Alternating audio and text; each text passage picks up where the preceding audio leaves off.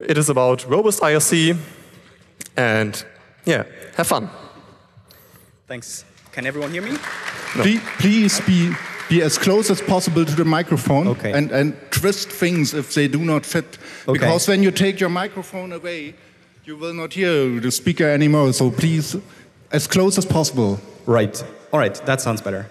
Okay, hello everyone. My name is Michael. I'll be talking about robust RC or RC without net splits. Next slide, please the motivation to do anything in the IRC space really is that IRC is still widely used among free software and hacker circles. And we looked around and we didn't find a convincing alternative.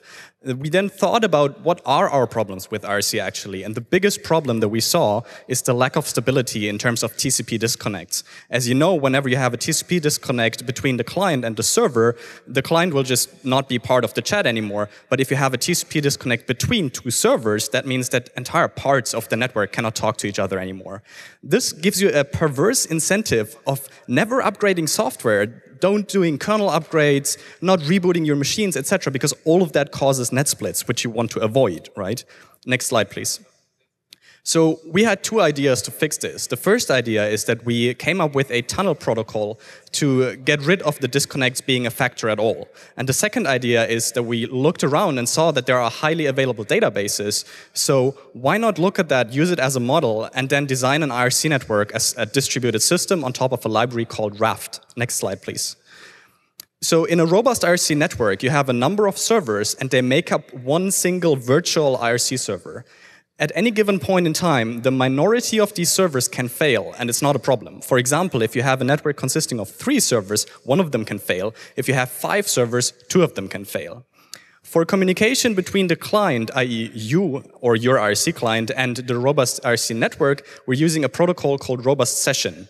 It's based on HTTP and JSON, so they can be implemented very easily in clients. There's a very tiny program called The Bridge, which tunnels IRC over Robust Session. So you run that program, and then you connect your IRC client to it, and you're in the IRC network. Next slide, please. So how does it work? Um, every incoming IRC command that we get, we persist using Raft. So that means it will be distributed among all of our servers, and only when the majority of servers has acknowledged it received the message, it will be processed. The servers themselves are implemented as state machines, which means that when they face the same input, they will generate the same state. So that means whenever a client loses connection to any given server, they can just fail over to a different server and continue reading the stream of messages. It also means that whenever your server process dies because you're doing a reboot or whatever, it can just reprocess the state it already has and then be in sync with all of the other computers again. Next slide, please.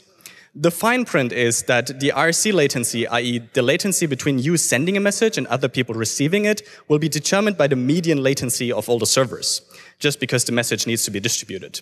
Also, if you want to have a really, really robust network, you will have to have access to at least three different failure domains. Meaning, if you put three different robust IRC servers on the same machine, if the machine dies, you're still host, right? And last but not least, the throughput that we get of around a thousand messages is not yet high enough to replace the IRC software in the biggest IRC networks like Freenode or IRCnet. Next slide, please. So in order to connect, you can just install the robust IRC bridge, which might be in your distribution. For example, if you're using Debian or Arch Linux, you can just install it. If not, you can just install Go and then you use these commands shown on the slide. You set up a Go environment, you download and install our code, you run it, and then you can connect your favorite IRC client to localhost and you're in. You could also use a, a bridge that we provide, which is called legacy IRC dot and then the network name. It's not as good in the sense that it will only guard against net splits between the servers, but obviously not be between the connection between you and the bridge, right? Next slide, please. This is the end of the lightning talk, but there's more. If you want to know more, check out robustirc.net. There's an admin guide if you want to set up your own network. There's also a 40-minute tech talk if you want to learn more about the details. And also, I'm at this conference, so please do feel free to grab me anytime and talk to me. I'd love to discuss this further with you. Okay, that's all. Thank you for your attention.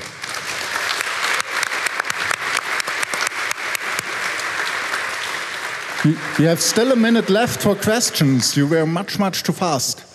Are there any questions? No, no, no, I don't see any. So please, the next speaker, come up.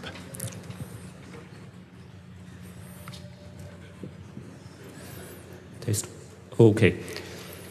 Yeah, hi, I'm Max, and uh, I will show you a project which I worked on with a few friends from Darmstadt. and it's NFCGate, uh, breaking NFC for fun and obviously security. Uh, next slide, please. Um, a quick NFC primer. You probably all know NFC, near field communication. It's a wireless protocol, runs at around uh, 13.56 megahertz. Um, it uses smart cards, which are powered by the reader. It's used for payments, public transport, ID documents, and uh, there are NFC chips in almost every Android telephone. Next slide, please. So when we saw that there is a new feature with Android 4.4, which is called host card emulation, uh, we were pretty excited because that meant that you can actually use an Android phone and emulate uh, an NFC card to a reader. Next slide, please. So in theory, you just need a card, you need two Android phones, you need a reader, and you can just relay all the traffic and have fun, inspect it, the whole shebang. So in practice, next slide, please. Um, we found that Android really doesn't want you to do that. So it puts up a lot of walls, and then there are also a number of bugs. So it was uh, quite a bit of pain involved. Next slide, please. Um, but with a lot of time, a lot of cursing, and a lot of coffee, in the end, we managed to circumvent all those problems, and we're going to tell you about it now. Next slide, please. Uh, the first problem was that Android only supports specific ISO standards for HCE. And many systems do not use this ISO standard, so you could not emulate them. Um, we solved this problem by uh, going into the Android HCE code and the uh, NFC native code libraries and just remove all those checks. And we did this in a way uh, which uh, allows you to run our code without patching your Android. So you can just take your stock Android, install Xposed, install our app, and it'll work. Uh, so now we can emulate pretty much all popular NFC cards, except for MIFARE Classic, but MIFARE Classic has been broken for years, so who cares? Next slide, please. Um, the second problem is that um, Android has no API which allows you to set the unique identifier of the card you are emulating. So it'll always use a random unique identifier, and this is annoying because this is usually used at least in some part of your authentication protocol. Um, we fixed that by finding an undocumented function in the libNFC, which allowed us to pass a byte stream to the NFC chip. And with that byte stream, we could set an arbitrary UID and some other values which are also relevant to NFC. We can thus now emulate any arbitrary UID. So if your door lock only uses a UID to authenticate the card, you now have a problem. Next slide, please. Um, requirements for running our code is a device running Android 4.4 or upwards. Um, you need at least one device with a Broadcom NFC chip because the NXP chips uh, do not have the specific setconfig function. Um, but for example, Nexus 4 will work just fine. You need the Xposed framework installed. You need a server to run the relay server on. We will probably implement some sort of direct connection at some point. And you need an NFC system to test, obviously. Next slide, please. So why are we releasing it? This stuff is dangerous, right? Um, well, for us, it's basically Kerckhoffs. Um, so if your the security of your system relies on uh, the well confidentiality of the data you're sending, you're probably doing something wrong. Uh, so fix your shitty security, or people are going to break your stuff. Next slide, please. So you can get the code at nfc.wtf. Um, you can get a pre-compiled APK. You can get the full source code. It's licensed Apache. And um, yeah, have fun, break stuff, send patches if you want. And you can reach us at gate at nfc.wtf or talk to me at the camp.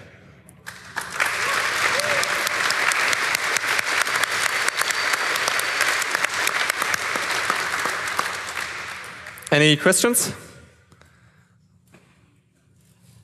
No? Great. Thank you very much.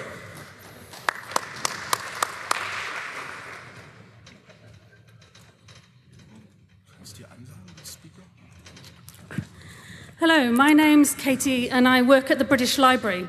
And you might be thinking, what on earth is a librarian doing here talking about labs? You know, there's one librarian in the room who's excited. I hope to convince some of you that actually there's a lot more to libraries these days than dead trees.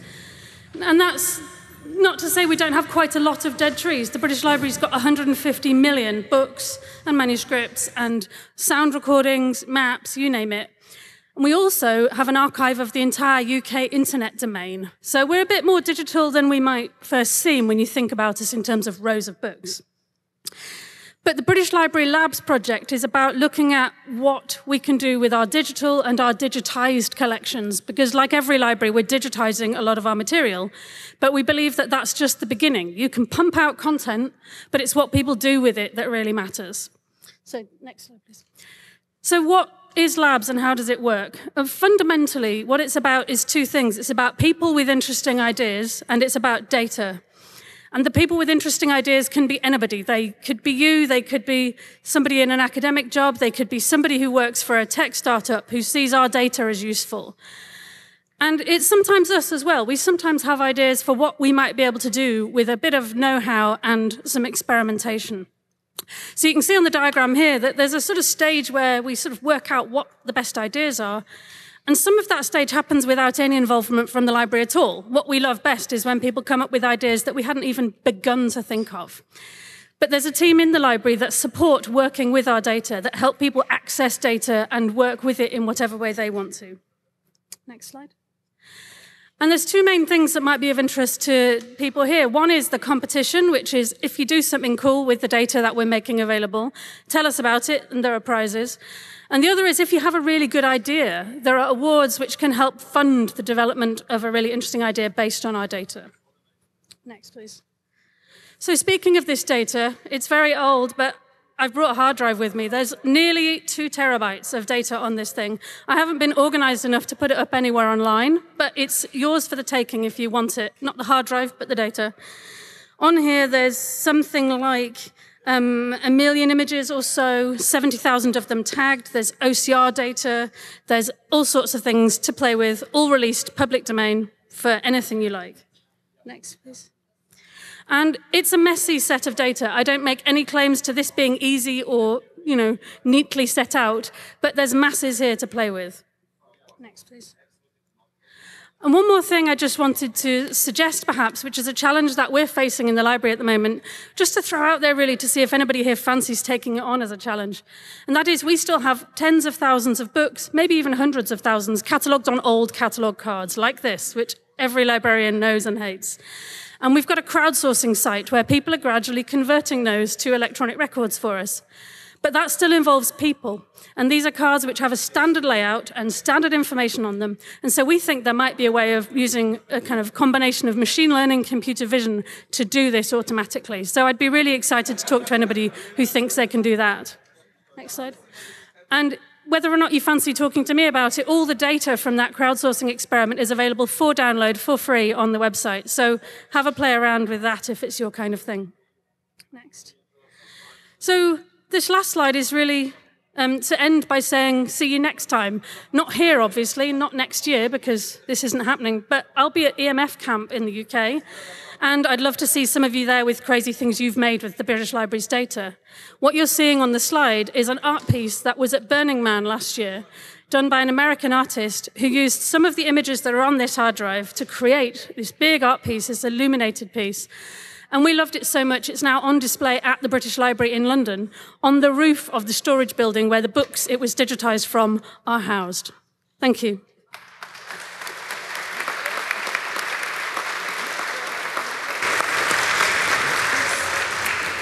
Are there any questions, whether library nerd or otherwise?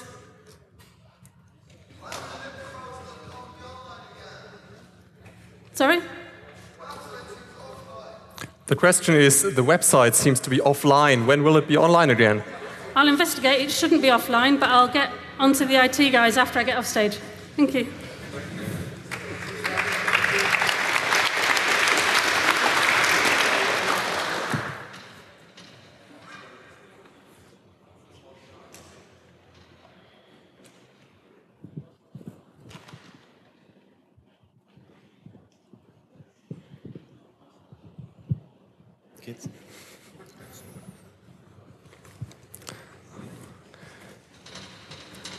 Next up is uh, RKA talking about Saft am Sonntag in Berlin.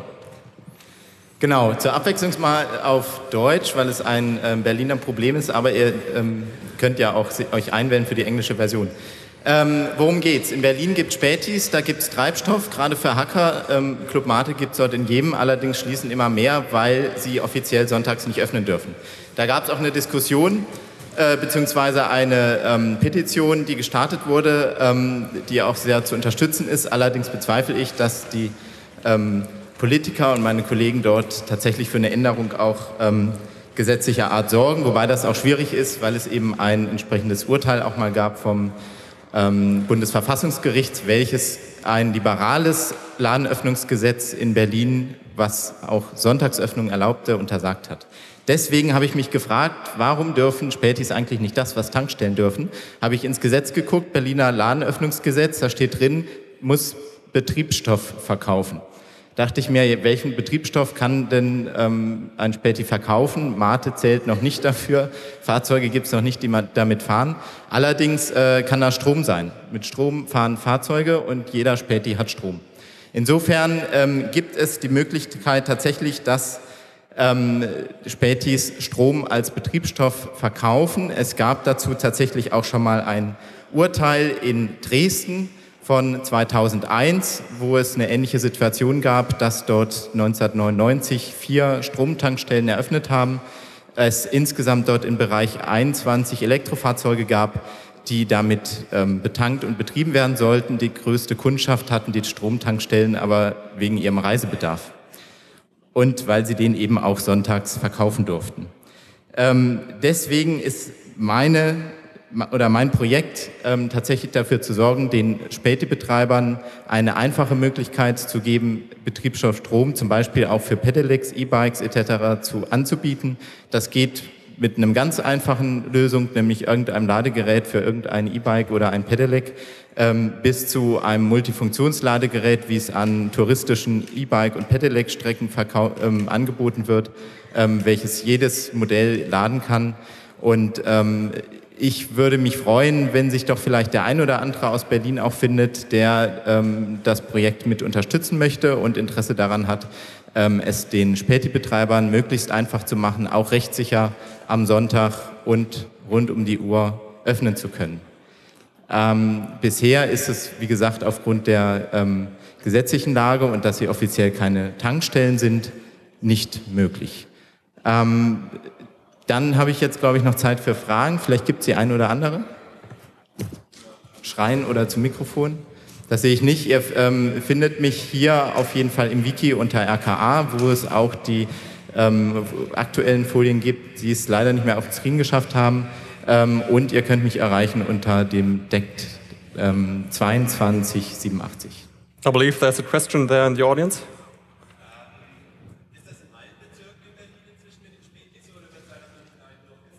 Es gibt in Neukölln einen Polizisten, der sich dort ähm, relativ scharf aufspielt und ähm, sozusagen da viele Verfahren in Gang setzt, weswegen der Bezirk besonders betroffen ist. In anderen Bezirken gibt es teilweise ähm, Blockwarte oder andere, die da auch ein Problem mit haben. Ich bin der Meinung, dass ähm, jeder Späti-Betreiber, der selbstständig ist, selber entscheiden sollte, wann er sein Geschäft betreiben möchte, wenn dies gerade auch Tankstellenbetreibern und großen Ketten erlaubt ist. Yeah, we have still time for one more question, I think.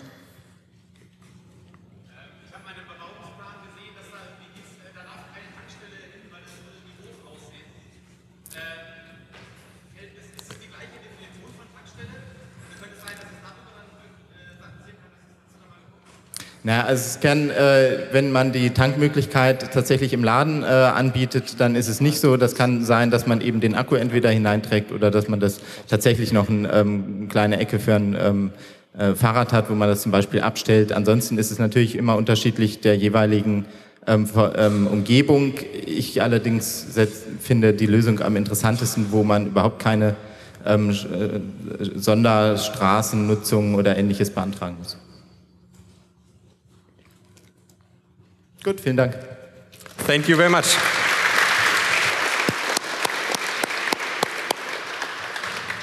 Next up will be a 3DS man talking about Open Embroiderer.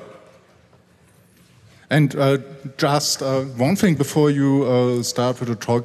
Uh, if you get questions, this to every speaker, please try to repeat them. Unfortunately, we have uh, no microphone angels and no signal angels for this talk. And so people in the stream also want to uh, hear the question. So please leave us time to repeat the question or repeat the question yourself. Oh. Thank you. hi, everybody. Uh, I'm Sebastian from uh, Electrolab, a French hackerspace near Paris. And I would like to introduce you our project of open source embroidery machine. Um, so, next. Um, we, we would like to make a cheap, simple, and non-destructive machine. Okay. So, uh, please the next one.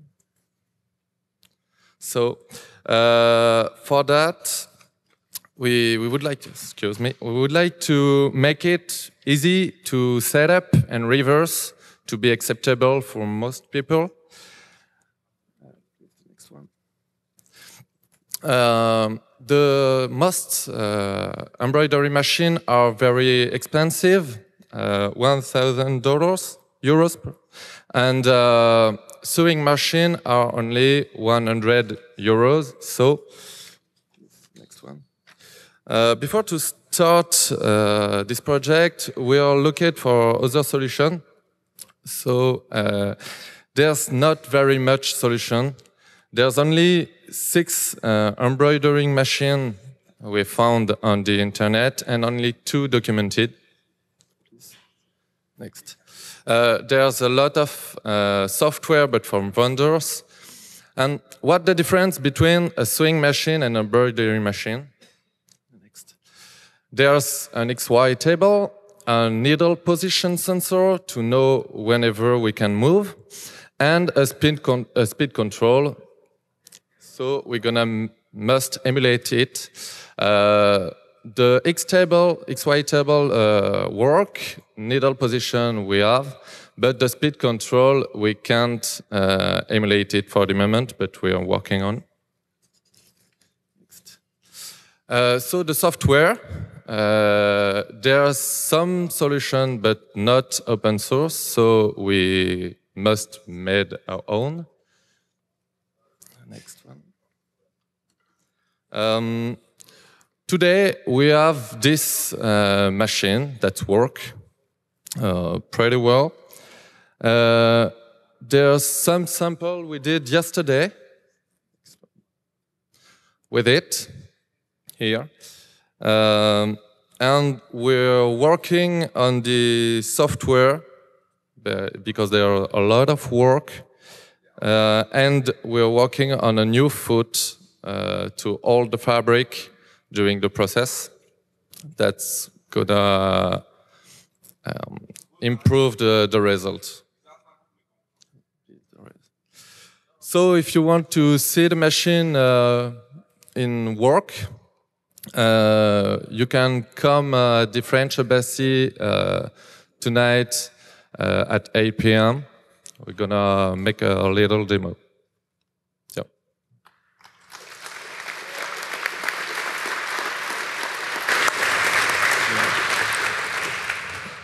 Any questions?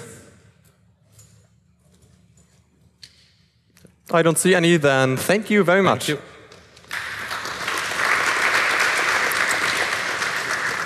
Next up is wpwrak talking about Neo 900. Good afternoon. My name is Werner Almesberger. I'm um, presenting on behalf of the Neo 900 project, and I'm going to talk about modem security from a hardware point of view. Um, what can be improved? So this uh, this shows what your modem looks like. Um, I mean, what your system looks like on your smartphone. On one side, you have your uh, application processor, which typically runs Linux. It's nice and open, something you can trust. On the other side, you have the world of the uh, telephony protocols, your modem, where everything is closed, even required by regulation to be closed, and you cannot quite trust it to do what you actually want it to do.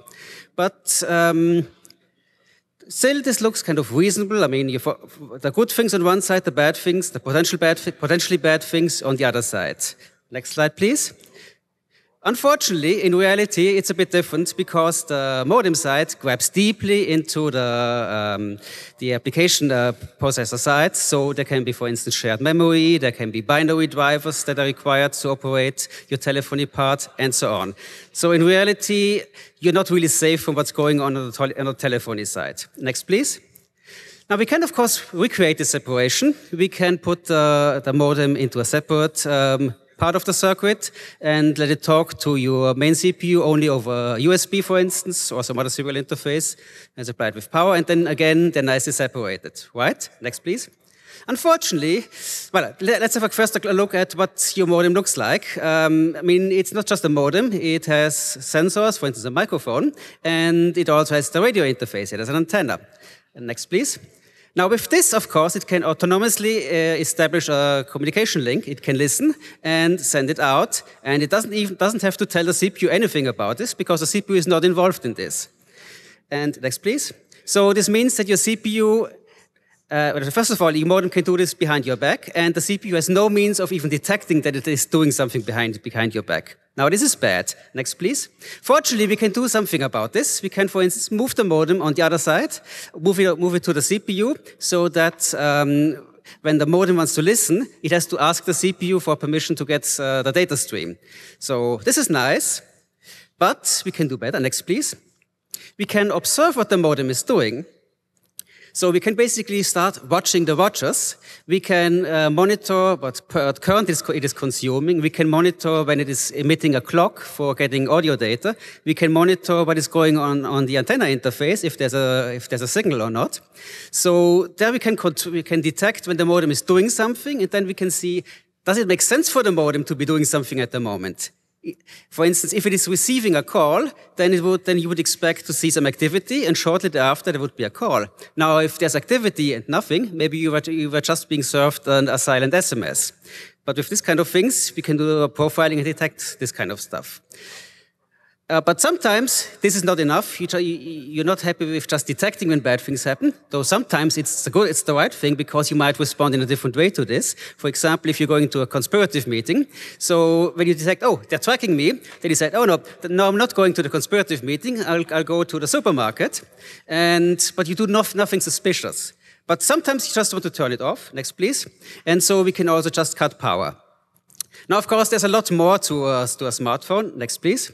And here you can see some more details. And in the Neo900 project, we are building um, a smartphone that has these uh, security features on the modem side, plus all the rest you see in here. Uh, next, please. And if you want to know more, you can come over to our village, which is just in this direction um, across the street, the Neo, the Neo village. Or you can also come to a longer talk that is tomorrow at uh, 15 o'clock at C-Base, the workspace tent. Okay, I still have time for questions, if there are any. No questions? Then thank you very much. Thank you.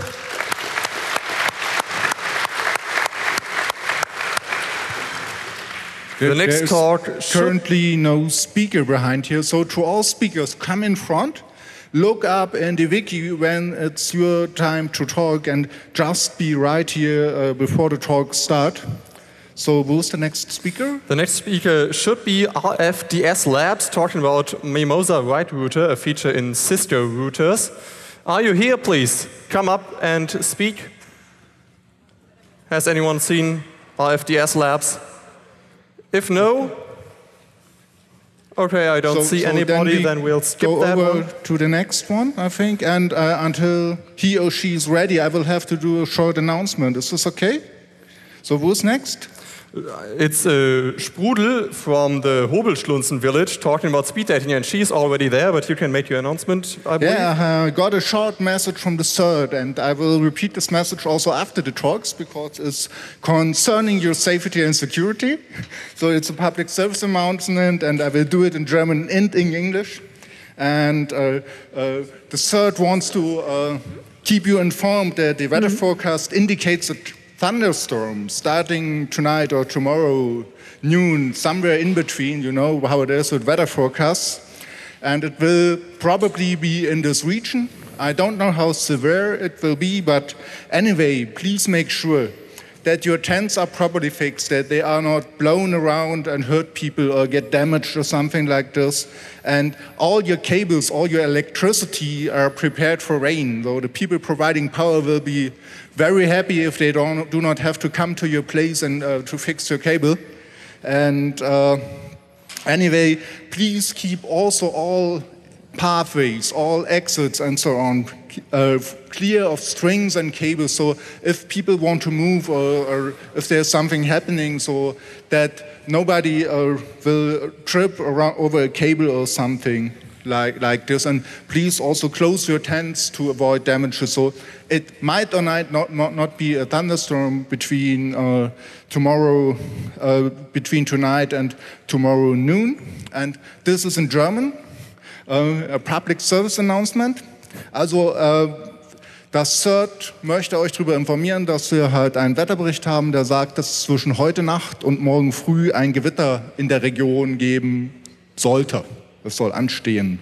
Bitte schaut, dass eure Zelte äh, richtig abgespannt sind, dass alles zu ist, dass alles geschlossen ist, dass nichts durch die Gegend fliegt, dass äh, alle Kabel fix, äh, festgemacht sind, dass eure äh, Steckdosen nicht volllaufen können, so dass es keinen Kurzschluss und dergleichen gibt und äh, dass alles trocken und regensicher verlegt ist. Haltet bitte alle Wege frei. Also schaut nochmal auf alle öffentlichen Wege und dergleichen, dass dort keine Kabel, Strippen, Schnüre oder dergleichen liegen, wo man stolpern könnte, falls man doch mal halt irgendwo hin schnell muss oder wenn, dass die halt vom Matsch nicht zugeschwemmt werden und keine Gefahr darstellen. Und schließt eure Zelte, damit ihr im Trockenen schlafen könnt. So, and now to the next speaker, please. Thank you for your public safety announcement. And the next lightning speaker will be Sprudel from the Hobelschlunzen village talking about uh, speed dating. Hello, everyone. I, uh, together with Err Lehmann and Plomlom Plomlompom, uh, invented a different kind of speed dating. Next, please. So, usually, when you do speed dating, you do it for reasons such as finding a romantic partner or sometimes even to get a job. Um, but the problem is that one half of the participants dates the other half. For example, all the straight men date all the straight women, or all the employers date the employees, which is kind of boring. If you put in the effort, why not do some more? Do it less hierarchical and give more than one possibility to the people who meet each other next. Um, so this is what we try to do. We try to improve it, and we made up an algorithm by which every participant meets every participant. So no two groups, but everyone gets to meet everyone. And also there are more possibilities on how to how to um, talk with each other after uh, the actual speed dating. Next, please. What happens at our speed dating sessions is that you will meet in groups of two. After five minutes, you move to the next spot, make your uh, make your notes on what you want to do with the person next, and then you repeat these steps until you have met everyone. Then you hang out a bit and wait for the results next. So this is one of the forms that participants get. Um, it is uh, made up with software um, that you can see uh, on the bottom how to get it, and we. Um, we come up with it depending on the numbers of participants. Um, they have instructions which you don't see here, but which I told you. And there you have the ratings where you can say if you want to work with a person you just met. So if you're a straight man meeting another straight man, whatever, you can just work together. Um, you can say that you want to get to know each other better, that you want to cuddle with each other, or, uh, and this is an interesting thing, sorry, um, if you're a bit sensitive to um, sex and sexuality, uh, maybe you want to uh, step outside. Uh, because uh, you can also, of course, uh, cross out that you might want to um, do sexual stuff with each other. And then we also have this wild card, which is the last one, where you can just put in a message that will be delivered the four things beforehand will only be communicated if they are mutual. So only if I want to work with you and you want to work with me, we will actually um, know it. Next, please. Um, this is a form that is supposed to tell us how the people are actually moving, because this is a bit more complicated. In order to move everyone around, have everyone meet exactly one time, um, we need this form. If you are really good in maths, you can help us make this better because what you see here, uh, sadly, is wrong. Next, please. And this is an evaluation form that we use to note down the mutual interests. Um, one horizontal strip will be cut out and will be given to the person with the number. Next, please. So, what could possibly go wrong? As you have seen on the forms, um, there are only numbers. We optimized right now for maximum paranoia of participants. So, uh, maximum privacy. Um, if you forget your number, well, that's a problem, um, for example. Um, but this is supposed to help with shyness. Um, and yeah, also, uh, next please. For future, um, we would like to uh, identify bigger groups than just pairs of people who share interests. So we call it orgy identification. Um, if we have four people that all would like to work with each other or all cuddle with each other, whatever, then we would like to tell them. But the way we're doing it right now, we can't. So if you want to help us, please do. Next, please. Um, this is where you can do it every day from half past one until half past three. Yesterday we had 10 participants, today it was 20. So let's see if we can get 40 tomorrow. um, yes, if you would like to help us also organize it because it's growing, um, we are very helpful and grateful. Any questions?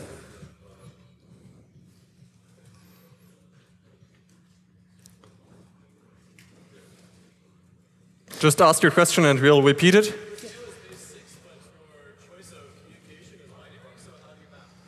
What do you mean?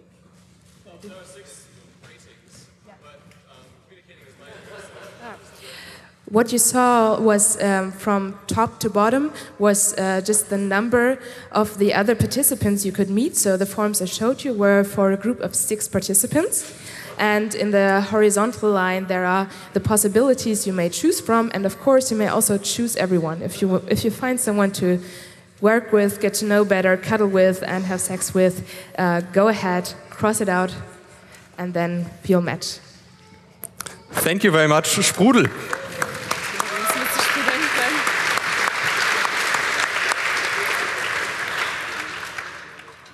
And I'd like to uh, repeat an announcement for all the future Lightning Talk speakers. Uh, when you get asked questions in the end, please either repeat the question yourself so that the people who watch the stream can hear it, or let us repeat the question. Thank you for that. Okay, next up will be Meta Plinius, that is you. Yeah. Great, talking about mechanical logic gates. Yes. Okay.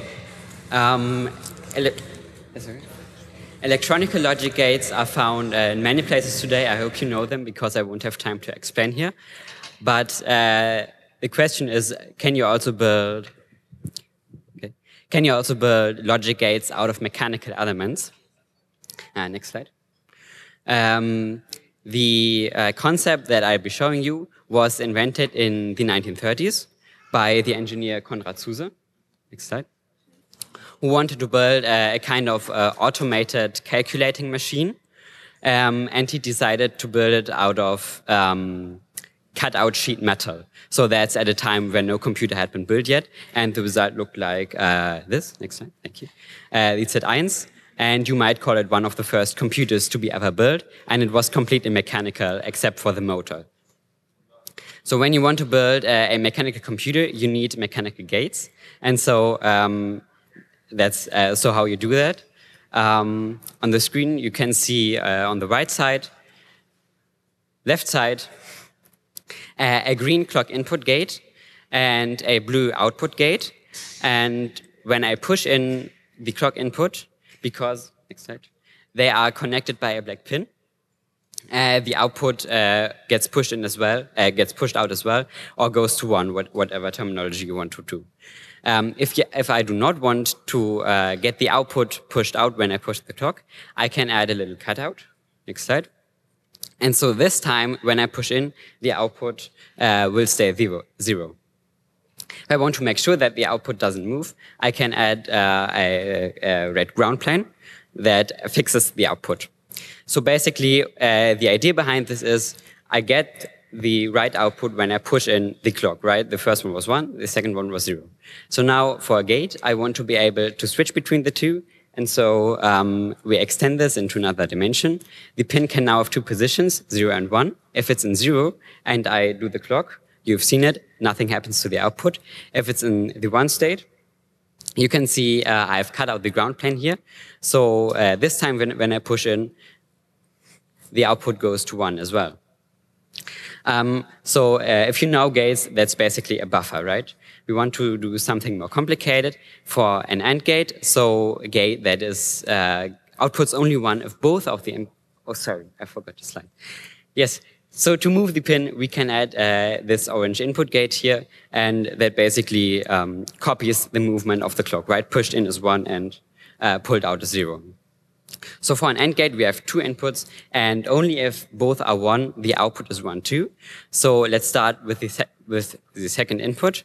We know if that's zero, the output can't be one, so we can tie it straight to ground here. If it is one, um, it all depends on the first input. So we add this uh, blue intermediary. Okay. So we, oh.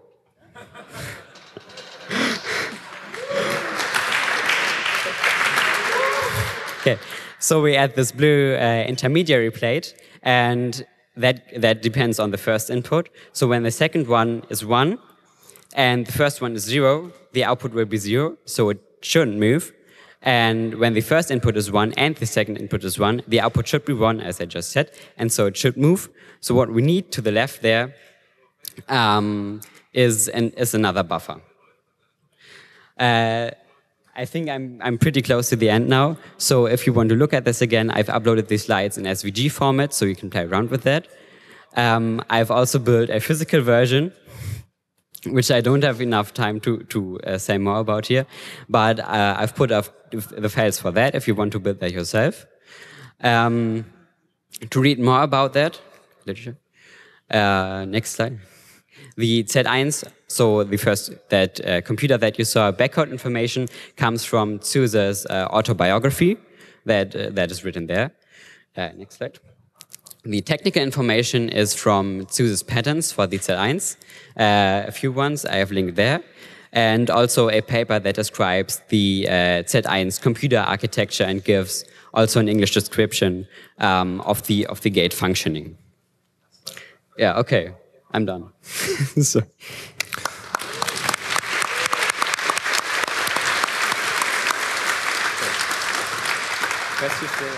Thank you, Metaplenius. Next up will be Hanno talking about SaferC with address sanitization. Sanita yeah, he'll tell you. Hello. Um, yeah. Um, a, lot of the code we use each day is written in C, and that's basically not good because C is full of security vulnerabilities, but there are some things we can do to make it a bit better. Um, next page. Um, here's a bit of code. Uh, I hope everyone sees the flaw in it. So we have an array with two elements and we're accessing element two, which doesn't exist because C starts counting by zero. So there's an element zero and an element one, but an element two that doesn't exist. But the problem is this code will usually just run and it's hard to find these kinds of bugs. Uh, next page. Um, and there's a very nice feature that's called address sanitizer. It's part of GCC and CLang. Uh, and everyone who is writing any code in C, I mean, you shouldn't write code in C, but if you do it anyway, you should know address sanitizer to test your code. And you can use it for fuzzing and, uh, but also just test the normal operation of your code. Uh, like, uh, for example, I tested the compiling bash with address sanitizer and just by running it and using it, uh, it found bugs in it where it was accessing invalid memory. Um, next. Um, the problem is I cannot read that, uh, so I have to guess what's on the slide. Um, yeah, so you can find bugs like use after free or buffer overflows uh, that very often don't crash your application if you compile it normally. And address sanitizer will give you a very nice error message, what went wrong and why it has accessed any wrong memory. I think next Uh, and what I tried to do was building a complete uh, Linux system with address sanitizer based on Gentoo, but uh, it's basically just Gentoo because I'm used to it. You can do this with any system. And uh, why would you want to do that? Uh, just doing that will uncover a lot of bugs. But you could also imagine like using this in production to say like really I want a really safe version of a Linux system and then build everything with address sanitizer probably in next slide. Um, it has performance costs, which is uh, about 50 to 100%. So this is a lot. It's a lot slower, but it's still much better than everything alike that we had before. So yeah, it's an amazing tool. I want more people to use it. Uh, if you're interested in this stuff or interested in fuzzing, like I do a lot of fuzzing right now, uh, then come to me, talk to me. Yeah, uh, I want to create safer more secure uh, free software operating systems. Yeah.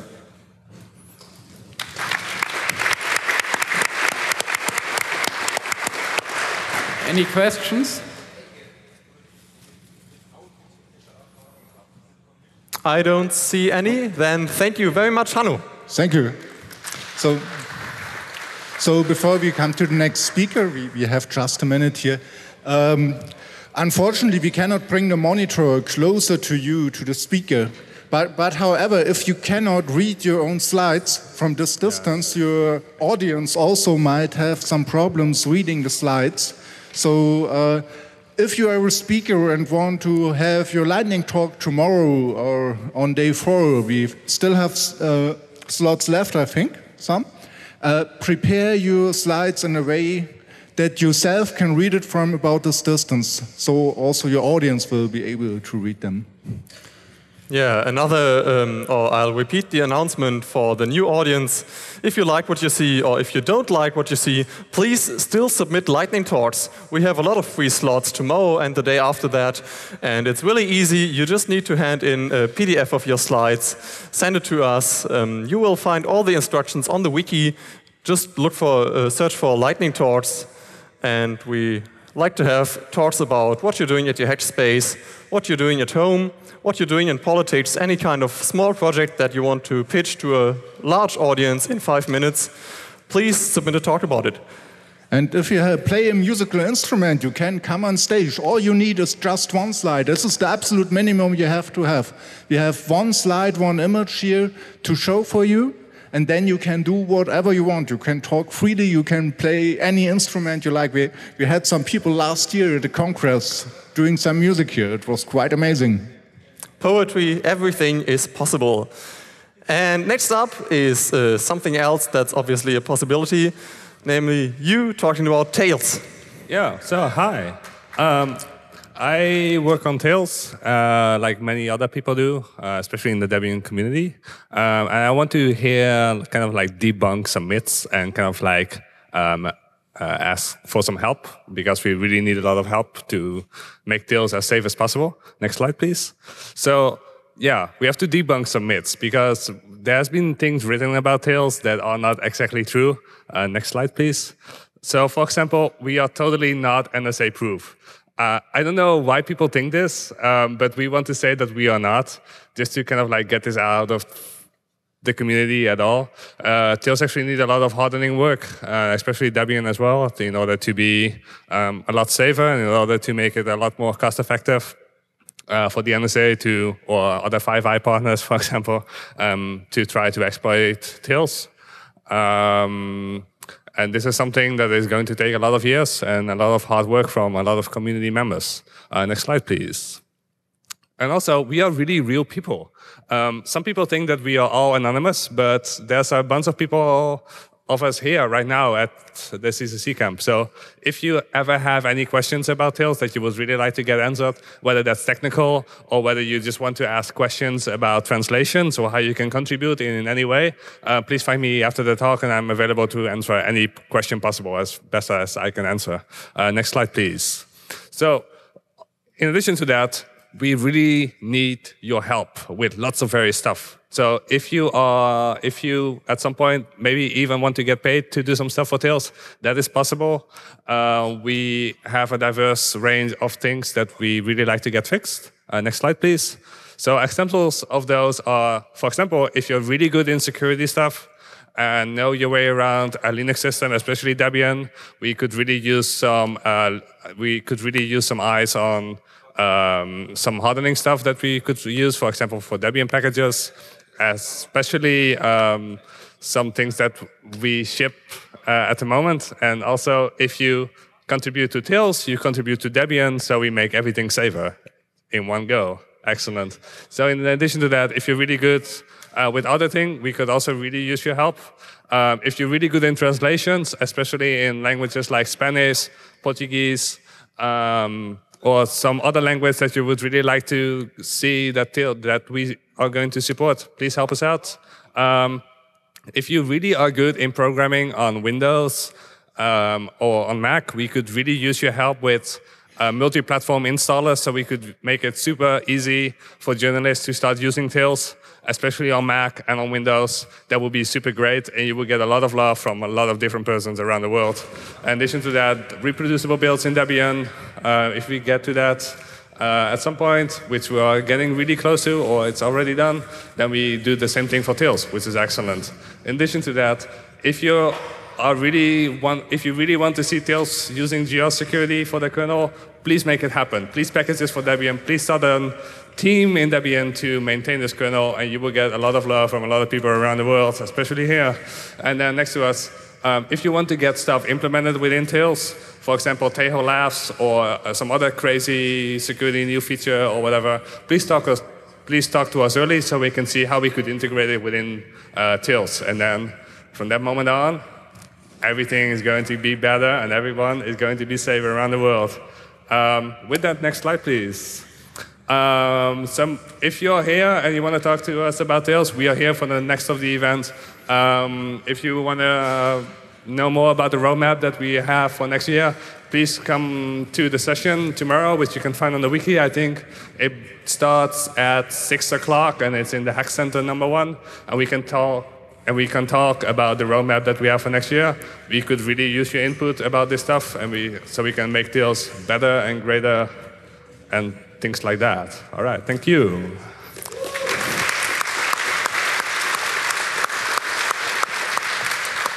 Thank you. We still might have time for one question. A question for a Tails developer.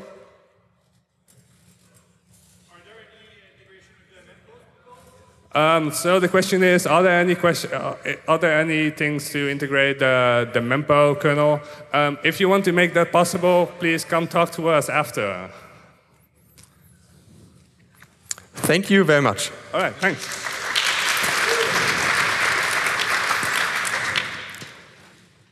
Next up will be Oz talking about something with cookies and phone numbers.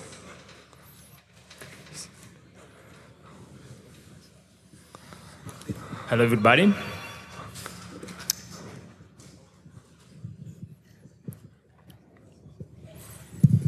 Thanks. Okay, maybe somebody of you know about Verizon US um, spying uh, about your mobile phone, or better, injecting something that can uh, help uh, people to trace, trace you when you visit their website. Electronic Frontier Foundation made a lot uh, of uh, web pages speaking about that. Unfortunately, we have almost the same problem in Italy and maybe also in your country. Next slide, uh, please. Uh, so the, we have the problem that when you use your mobile phone using uh, Italian mobile operator, your uh, mobile uh, operator will send also your number to the websites, not to all the websites, but only few that uh, have partnered with mobile operators. And basically, next slide, please. Uh, nobody uh, is aware of that, or at least to my knowledge. In their pri privacy policy, there is nothing explained about this. So Uh, I think that this is a problem. Next uh, slide, please. It's a problem about uh, net neutrality because somebody's maybe doing something with your connection. is a problem about privacy because your phone number is something like a super cookie. And uh, I see no awareness of this problem. So, next, please. Uh, we are um, going to have a session about this problem tomorrow at La Quadrature du Net.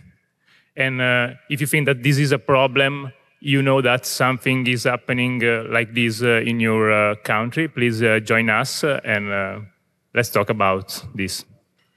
Thank you.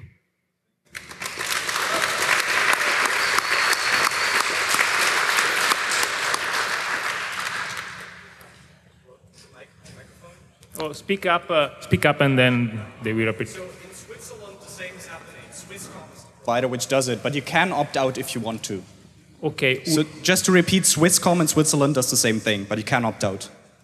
But it's uh, uh, the awareness of this is, or just because you are a, a tech, you know that. Uh, I only know it because a colleague of mine noticed that the header was sent out in an HTTP request. So they don't openly talk about it. Okay, thank you. Another question? No? Then thank you very much. Thank you to you.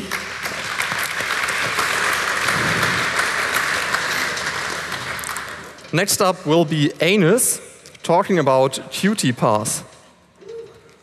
Uh, well, first apologies because I was uh, camp is way too exciting to make slides, so I didn't really make slides.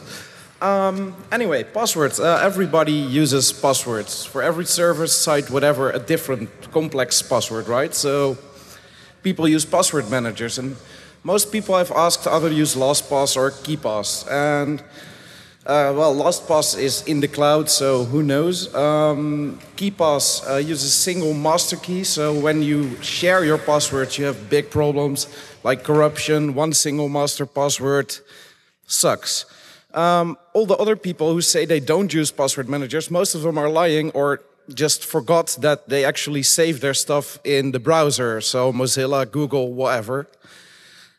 You can't do that with Teams, it doesn't work. So a solution, Pass, the standard Unix password manager. It's just a bunch of bash scripts using GPG, tree, pwgen, um, and Git.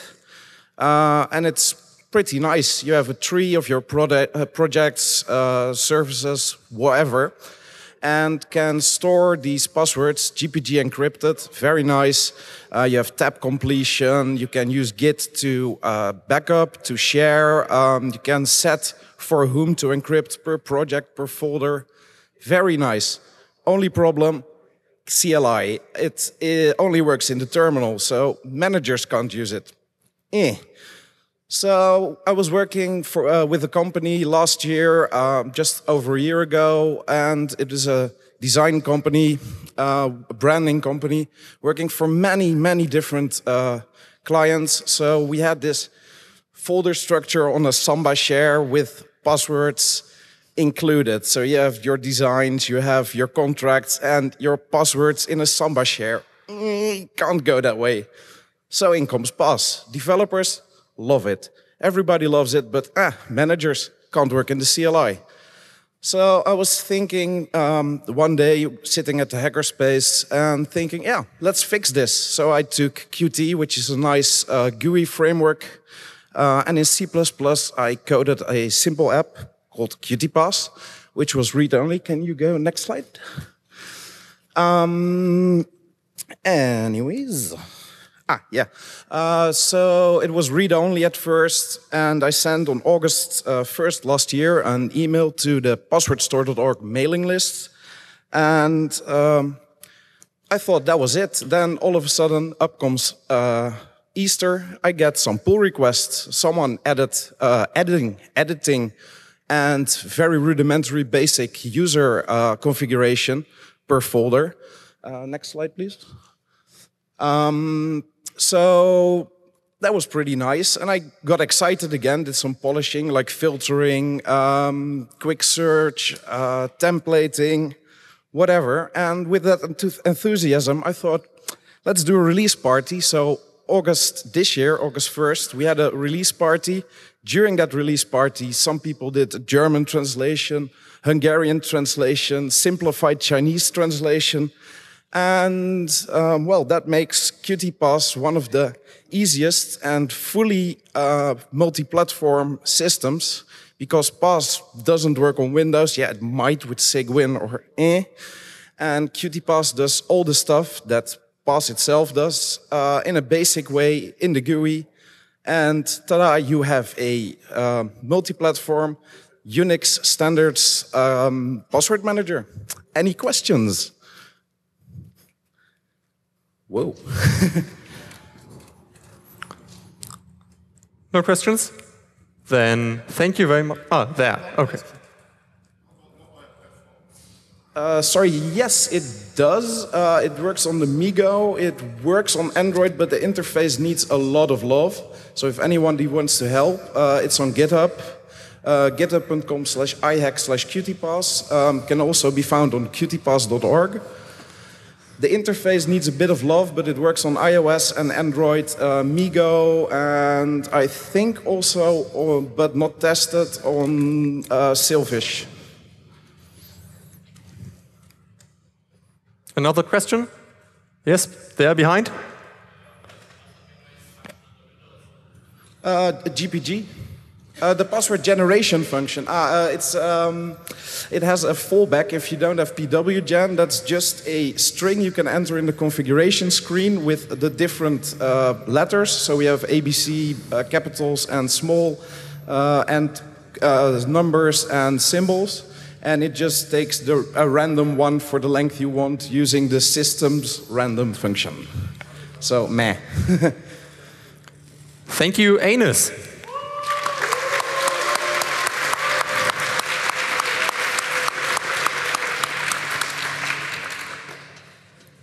Next up will be mithro talking about having too many projects. Hi, everyone. Um, I'm Tim. Next slide. Um, and I have too many projects, and you've kind of gone to the next slide too fast. Um, you also have an old version of my slides. Uh, this is going to be interesting. Um, there are a lot of things that I do, and I would like help on them because um, I need to sleep. Um, next slide. Um, the first thing is um, yes, you have a very old version of my slides. Um, the first thing is I do a lot of AV stuff, and everybody seems to make the same problems with their slides. So I created a tool to help you. It doesn't help you with the content, but at least it will help you. Um, make your slides better. Next slide. Um, there's a command line interface. It looks like your standard lint tool. Next slide.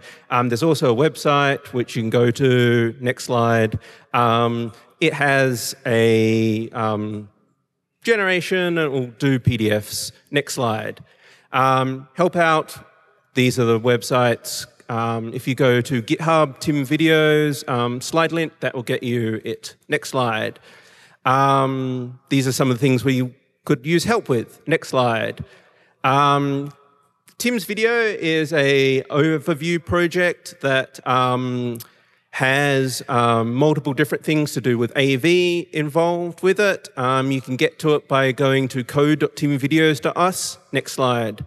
Um, this is a diagram of what it takes to do live event streaming at something like um, uh, the CCC, um, we're trying to make it so that anybody can do this without being as smart and awesome as the CC guys are. Next slide. Um, so the first part of this is we are trying to build a um, capture hardware because all the commercial solutions aren't very good and we can't fix them because they're all proprietary. Um, so we developed this thing called the HDMI to USB, which you can get at HDMI to USB.tv. Um, next slide. Um, it's a, based around FPGA and has a VHDL Verilog um, based firmware, but we also have a new firmware based on the stuff that the Milky Mist guys and the MLab guys developed. Next slide. Um, there should be a bunch of stuff announcing about the fact that we have some new hardware available that you can buy now um, called uh, the Numato um. If you go to bit.ly get Opsis, that's um, o, uh, OPSIS, you can uh, find it there. The complete schematic, PCB, um, design, issues are all there on GitHub. Um, it's got two HDMI inputs, two HDMI outputs, DisplayPort in, DisplayPort out. Um, it's kind of the ideal capture solution um, we want for doing conferences. Um, once you've got that, um, you then need a mixing system. So that's GST Switch. It's a software-based HD mixer based on uh, GStreamer. Um, it, we're looking at maybe working with um, the C3 guys here to replace it with Voctomix. Next slide. Um, we also have a streaming system which is Python and Django and based around Flumotion. Next slide. Um, that also needs help. Um, next slide. Um, there are other important projects that you should know about um, that aren't related to video streaming. Next slide. One of them is if you use dates in Python, you should be using my Python datetime TZ module because you'll get time zones right then, um, rather than getting it wrong all the time. Um, I'd highly recommend you um, use this. Next slide. Um, well, my slides are kind of broken. Um, there's also a project called Q. Q is quick and easy debugging. Um, it's really, really horrible hack but it allows you to import Q, and then you put Q where you want to print something, and it writes to the log file. You at Q a um, function, and it will log the decorators. You at Q a class, and it will log all the function calls. Very easy way to debug it when it's 2 a.m. in the morning and you don't want to um, get out real tools. Anyway, that is a bunch of my projects. Um, thank you for listening. Thank you, Tim. Next up will be Christians talking about Z-Wave, whatever that might be. Hello.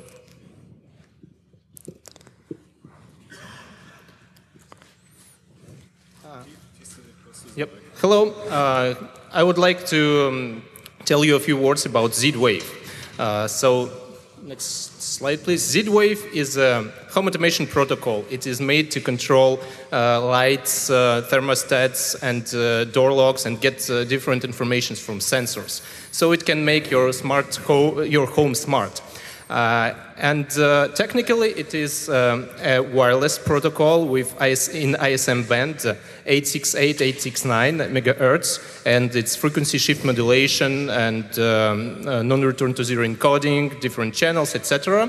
And um, the Z-Wave protocol is defined from the very bottom physical layer up to application layer, so it's uh, defined in all seven layers. And um, out of the box, you get a two-way communication uh, and the mesh networking. That means that different devices can help others, other devices in your network to route um, the packet if you cannot get it in direct range. Uh, and uh, also there, there is a security encryption, pretty strong encryption that uh, makes your life secure.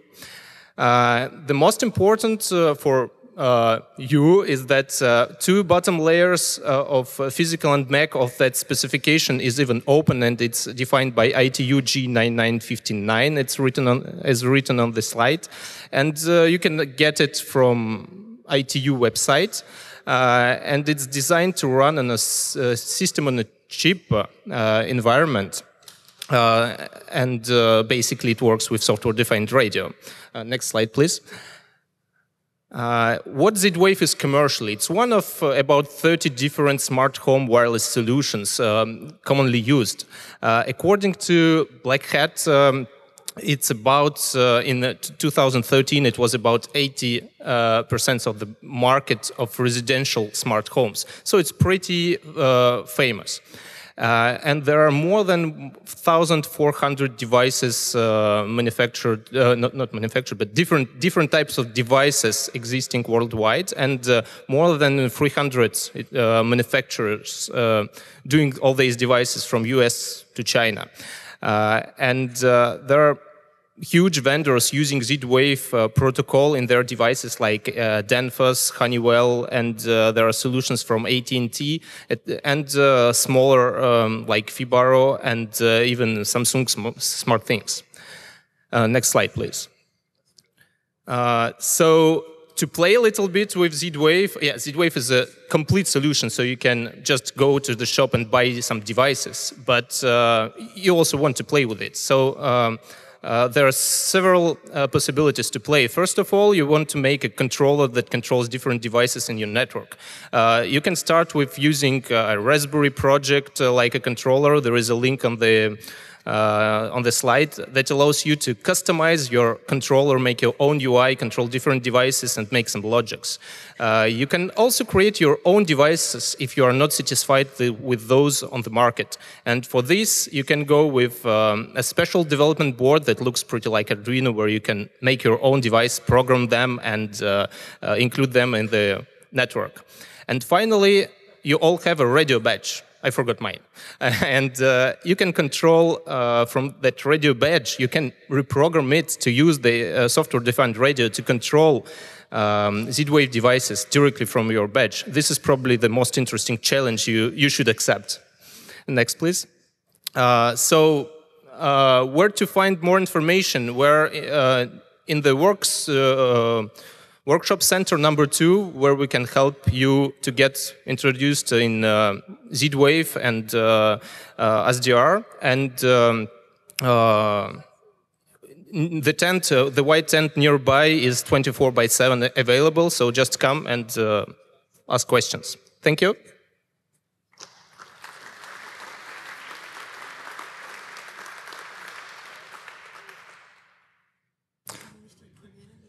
Yeah, thank you very much. Christians, any questions for him? There is one person. Yes, please.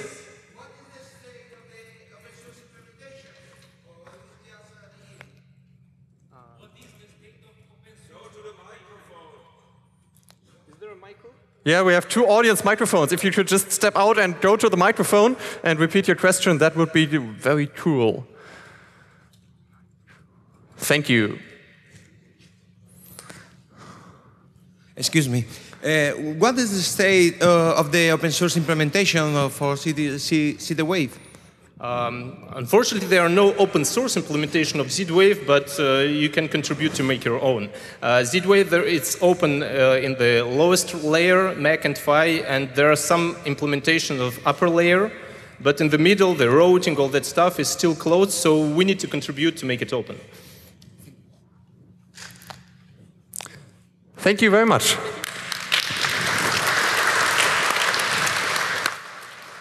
So now we have two more lightning talks coming up. The first was going to be a musical piece uh, played on. No, I just been told there's no musical piece today, so uh, there's only one more thing coming, and that will be Karl Voit uh, talking about Emacs. Is he here? Are you?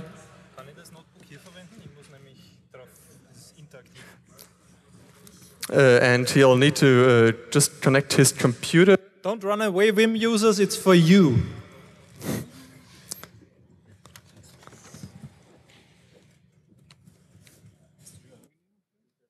Jo, ich musst du nur mit dem Notebook arbeiten können. Okay. Ich werde es schlucken.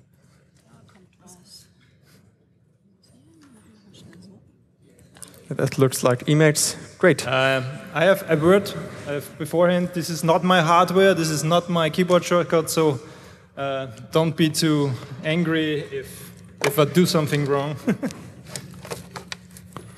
okay. Is this full screen? Is this full screen? Yeah. Okay. Okay.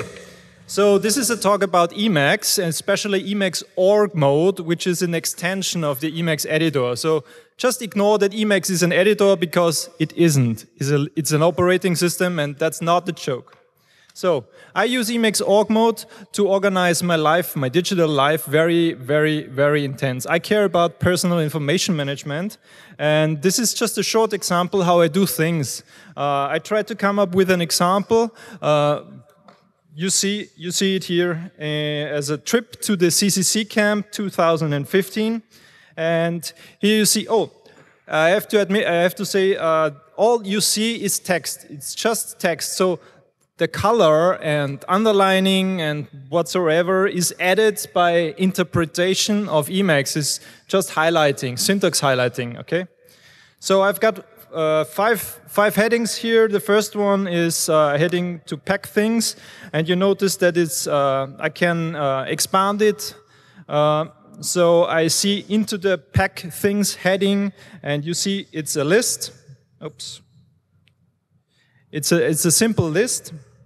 And uh, with the keyboard shortcut, I can mark it, mark lines as done, not as done. Um, and you see when any sub-items get marked as done, then the uh, previous uh, heading gets marked as done as well. Um, here as well. I can change the order by keyboard shortcuts. You see, I can move this item or I can move this in and out and so forth. So it's pretty easy to do stuff with this. When I finish packing things, I mark this as done and because I uh, ha have some rules in there, for example, the, the trigger line to Mildenberg, it's another ID, that gets uh, marked as to do.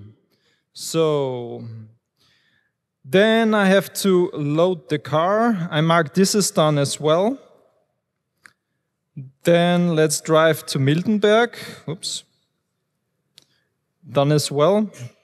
So you see, you can you can define dependencies. So um, when I have here a dependency, for example, uh, loading the car is blocked by packing stuff. So as long as I did not finish um, uh, packing things, I cannot finish load car. And this is quite especially because when I schedule to-dos, they don't appear on my calendar as long as they are blocked. So my calendar, it's called agenda. My agenda is only uh, full with items I can do now.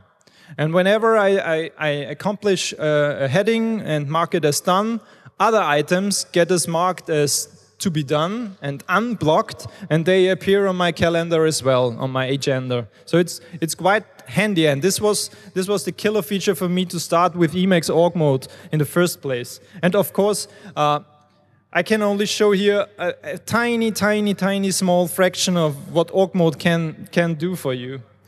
But I guess to-do list is very basic, so anybody of you, everybody of you can, can uh, do to-do lists with it. Okay, the next one is quite special and administration is uh, quite time consuming when you have to um, lock your, the stuff you're doing. So next thing I want to show is you can integrate program code into Emacs org mode. Here's an example where I integrated a shell script. Okay, let's, whoops. Let's delete this here. I integrated a shell script, which is just a one-liner, disk-free, and when I execute it, okay, sorry, not my system. Um, if I would have executed it on my computer, this is the result from my computer, and you see uh, it recognizes the output as a table, and then if I want to, I can use columns or even uh, single uh, values of this um, table to produce other stuff. So I can use this table as an input for a Perl script, for a Python script. I can do R visual visualization. Um, here I, I don't want to execute it because it's not my setup and therefore it breaks. Um, I use the output of a disk use command with a grep, you see it up, up there, uh, and I generate a table. And I'm, I'm so, so afraid I cannot do this. I, I generate a pie chart of my disk usage in the next step. Obviously, I cannot execute it on this computer because it's not set up with R and Emacs. Okay, so you might get a small, small, small impression what, how capable this, this stuff is going to do. So, for example, if you're administrator of, of, uh, of numerous uh, Linux systems, you can use sessions. So you define a session to a remote computer, you execute commands, you get the results, the standard output, if you want the standard error as well, into your documentation right there. You can add documentation in between, and then the next block, you can, uh, you, you can use the previous environment to send another command, and so forth. So it's very, very awesome. So, next thing uh, the, the org mode is capable of is full-blown spreadsheet. So this is an example where I collect some uh, expenses of, of this trip. You see, uh, I took the train from Berlin to Mildenberg yesterday and uh, I about uh, 23 euro and I did some groceries. And as you see, uh, at the end of this line, there is a sum. So you can all sorts of computation. You can do statistical analysis whatsoever.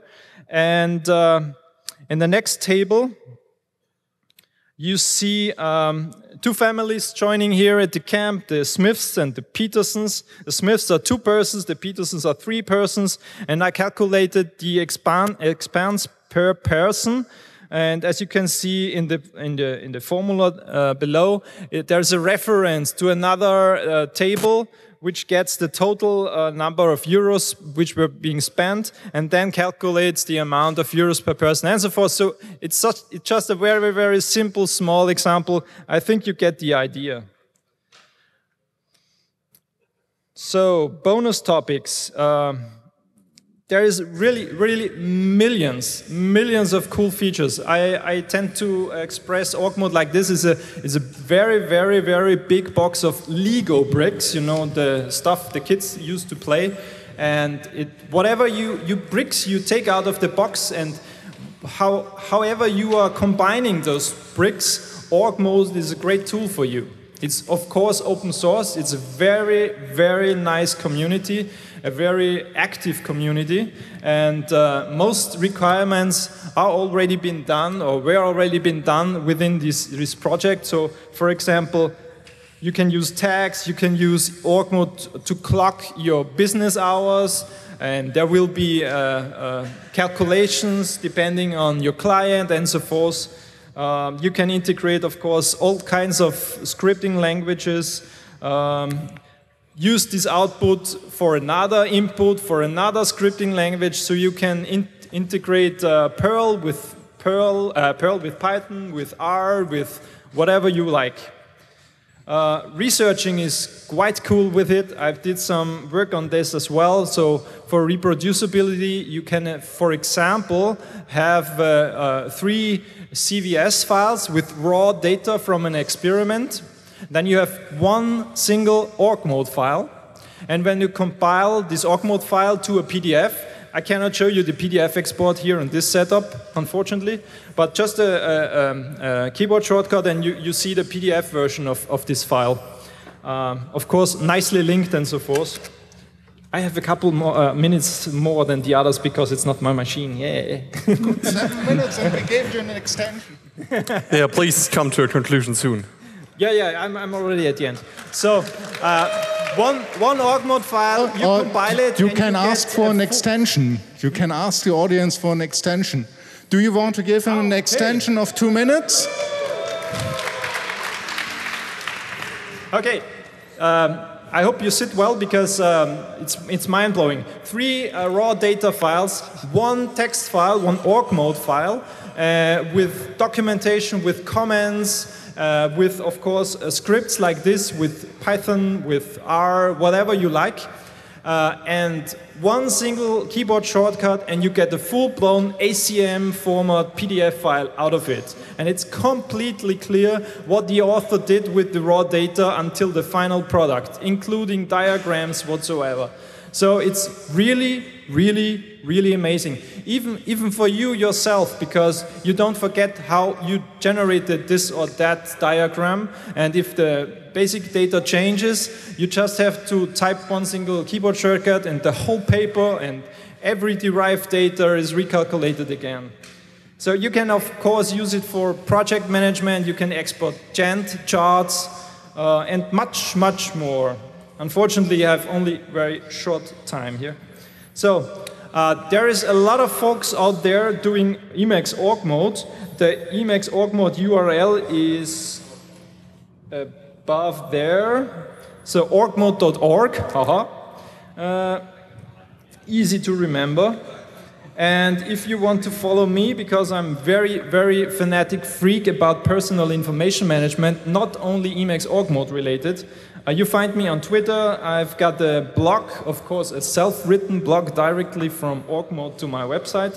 Uh, I have all my source code being published at GitHub, including many, many extensions for Emacs org mode. Because I'm not, my, my brain is incompatible with Emacs Lisp, uh, I had to do it with Python. So if you're not a Lisp person, no worries, Emacs is right the tool for you.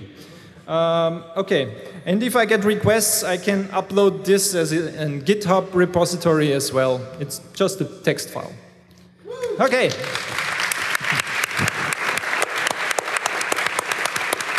Are there any questions?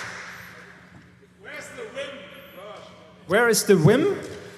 Uh, I, am a Vim user. I am a, a formerly, I'm a, a everyday Vim user. So I write my emails with Vim. I, uh, uh, I write configuration files with Vim. So I know Vim very well. But when I saw org mode, an org mode demo, right from the start, I installed Emacs again and uh, began to learn org mode. So you can still use Vim where, wherever and whatever and for whatever you want, but please use Emacs org mode to, to organize your digital life because there is nothing better than this. And trust me, I've tried everything.